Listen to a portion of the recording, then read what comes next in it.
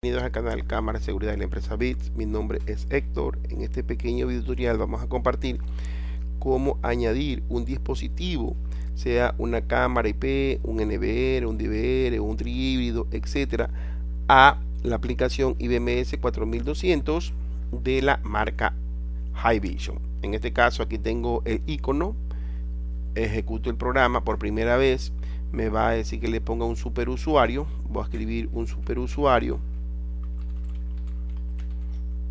poniéndole como nombre ustedes pueden poner cualquier nombre. Estoy poniendo administrador el password.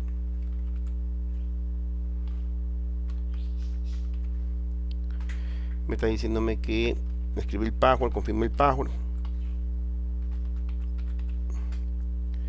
Que se autologue. Esto para que cuando cargue la aplicación se inicie y me está ejecutándose la aplicación IBMS 4200 de la marca Hikvision en la computadora para poder visualizar las cámaras. Como habíamos conversado en el video anterior, yo ya tengo mi grabador conectado al ruteador y le asignó una dirección IP para poder añadirla.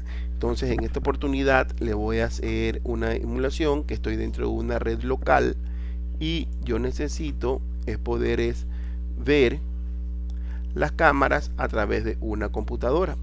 Y la dirección IP es 192 168 0.107 me dice que tú puedes añadirlo. Voy a cerrar para añadirlo de forma manual yo tengo aquí las diferentes opciones puedo tener el panel de control ¿no verdad? puedes ver en, en vivo dispositivos ¿no verdad? puedes añadir un dispositivo le puedes añadir un nuevo dispositivo vas a añadir un nuevo añadir un nuevo dispositivo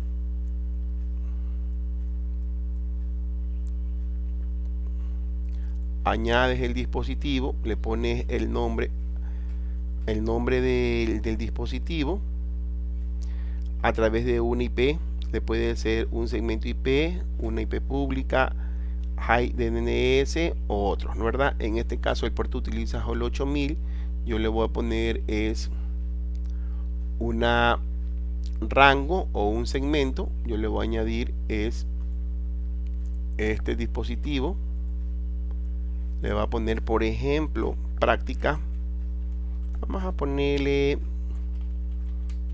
taller empresa para darle cualquier nombre ¿no verdad? la dirección IP 192 168 0.107 el nombre del usuario y la contraseña recuerden que cuando ustedes iniciaron por primera vez el, el, DBR les pidió una contraseña. Recuerden que ustedes cuando recién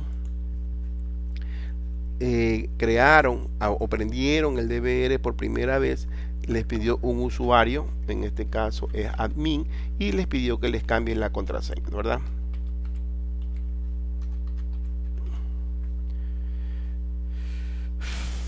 Le pongo añadir entonces ahí él lo está procesando e intentándolo localizarlo donde se encuentra el dispositivo.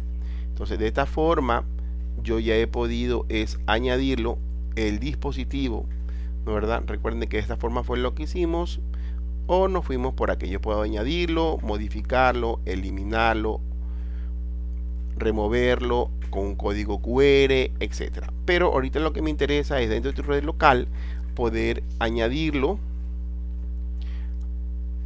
dentro de la red al DVR. En el siguiente video vamos a ver cómo visualizamos las cámaras. Gracias.